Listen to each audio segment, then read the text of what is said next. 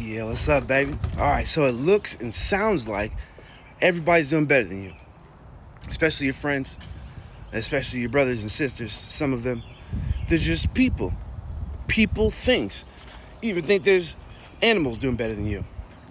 Somehow, some way, everything else but you has got it the way you got it, and somehow you're just trying to make it to this place where you're just gonna find this place of I don't know, whatever your peace is, uh, whatever you think you're gonna find, I'm gonna go back to my man Jesus.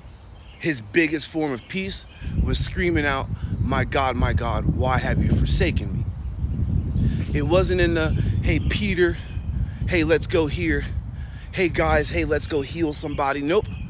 It was when he was, Dad, I'm yours. That's what we've got to do every day. Every day. What's up, Daddy? I'm yours. That's that's our Father who art in heaven. Hallowed be this.